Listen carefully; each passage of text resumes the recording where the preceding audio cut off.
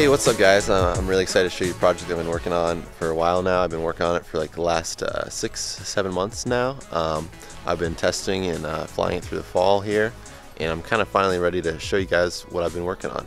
Um, you guys probably already know what it is from the title. It's an electric powered paraglider, and uh, you guys might be asking me like, well, there's already some like really good uh, paragliders on the market, but uh, electric has some really good advantages over gas. Here's like some of the biggest reasons why.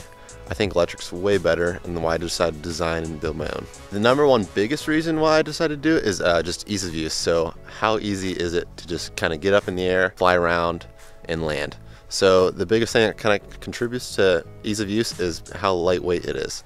So if you have a really heavy machine, it's just harder to take off and say you have a failed takeoff, the next takeoff's even way harder than that. It's just easier to kind of finesse the wing above your head if your machine is lighter on your back. So with this thing only coming in at 29 pounds, it's definitely by far the lightest frame motor combination on the market. You guys be like, oh, that's without batteries. Yeah, that's true. But if we look at a little cheat sheet here, we'll kind of compare it to some other frames on the market. Um, so the Air Conception 130, it's definitely probably the lightest frame on the market currently, and it's coming in at uh, 44 pounds.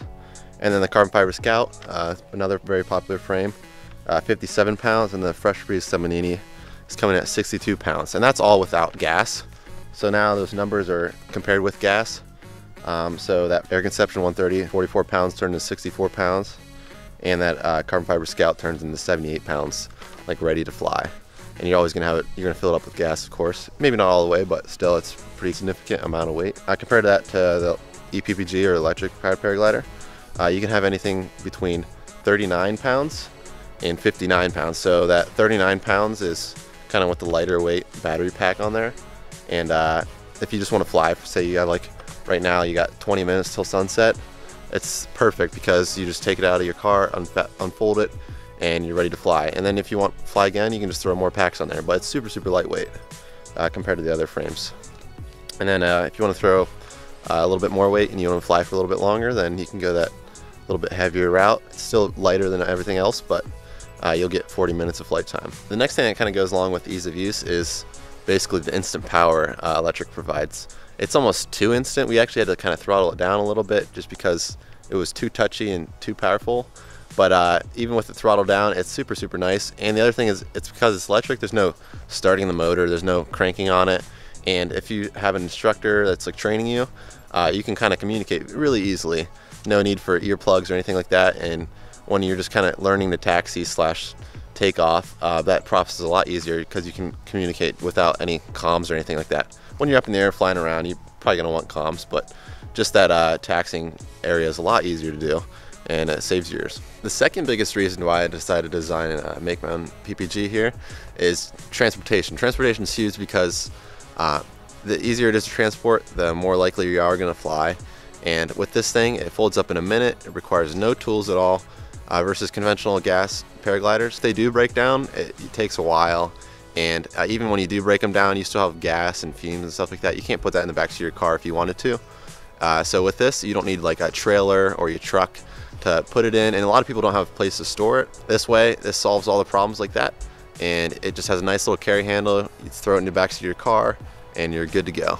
Um, if you see a cool spot to fly on your way home from work and it's just in the back of your car, it's not taking up a lot of room, take up a seat or two. Uh, you're like, oh, that's a sweet, sweet spot to fly, and you just take it out, unfold it. You got a little bit of time before sunset, and you're ready to go. So the final major reason that kind of pushed me over the edge to go ahead and design and uh, build this thing is cost. Um, the initial cost and the the overall maintenance cost. So if we look at initial cost off the bat, um, electric's already cheaper. So if you want to get just a conventional gas paraglider on the market right now, it's going to run you anywhere between seven to ten grand new. And even if you get a used one, you still have to worry about maintenance. But this thing, uh, it's going to cost about two grand uh, to three grand maybe tops if you get real high end stuff. Um, but maintenance is kind of like the bigger issue here. So I've had a lot of like gas paragliders and stuff like that and you have to rebuild the engines every 100 hours or you get holes in it. We've had pull starters break. And then like another just big like simple reason kind of explains the difference is just props. So with this uh, just a wooden prop like this, it's cost like 20 bucks to replace that. But versus conventional paraglider props, it's gonna cost you about like $500 to replace a prop. Say you have a little, you land a little bit rough or you take off too early, you lift your legs up too early or whatever. Um, so cost is huge.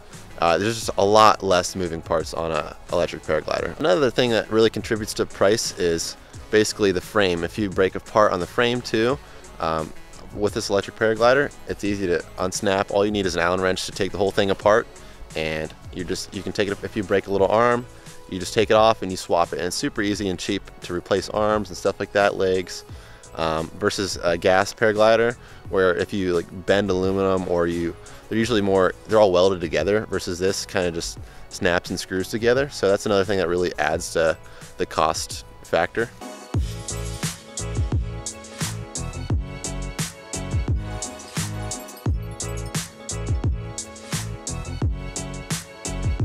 Thanks for watching. I hope you guys are excited as I am about this project.